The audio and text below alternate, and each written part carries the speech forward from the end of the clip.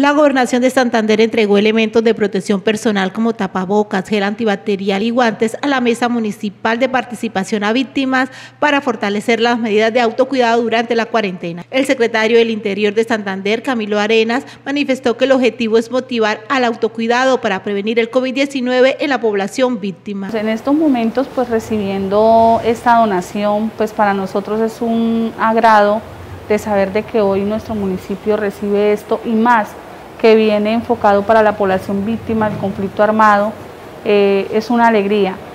¿Cuántas víctimas podemos impactar? Pues esperamos que sean la mayor víctimas eh, del municipio, pues dado a que pues esto ahorita tenemos que hacer un eh, balance de cómo se pueden hacer esas entregas, cómo lo vamos a hacer por comunas o por líderes sociales, porque pues Barranca Bermeja tiene muchos líderes sociales y muchas organizaciones de víctimas. En total se entregaron 154 cajas de tapabocas, 22 cajas de guantes, 180 gafas de seguridad, 38 galones de gel antibacterial y 38 galones de alcohol a la mesa de víctimas del distrito.